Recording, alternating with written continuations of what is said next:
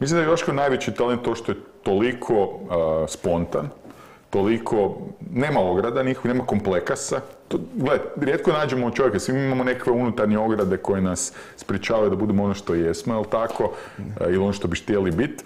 A on, i to je bio podcast, on ne da nema dlake na jeziku, on će reći pa da mu izađe kroz guzicu u tom trenutku što misli i što, ok, nekima se ne sviđa, ali u biti, sviđalo ti se, ne sviđalo, to moraš poštovati. I mislim da su na kraju dana ljudi to skužili i, Ja- ok, ima puno, ima i hejtera, ali ima i puno pozitiv. Meni je on bio sjajan. Ok, možda dve, tri izjave koje nisu spadale na javnu televiziju, vidio sam da i tebi bilo u nekim trenucima neugodno da si ono, a jebe šta da sad napravim, a stavlja to neugodnu poziciju što možda nije od njega u redu, ali na kraju dana on je, kad ti pogledaš, da me sad neko pita, bilo kog drugog, da li bi htio Joška Jeličića u toj emisiji ili ne, bi rekli da, i to je to jebi ga.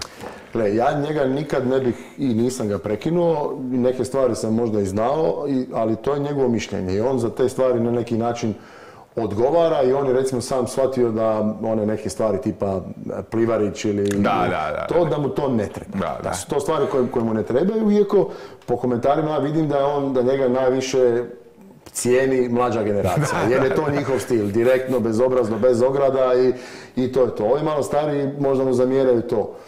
Ovo što si ti spomenuo, spontan, je, ali ključ toga je da ta njegova spontanost je pripremljena, a da se ne vidi da je ona pripremljena. Da, da, da, moguće, U velikoj- moguće, ja to ne znam. U velikoj većini. Ok.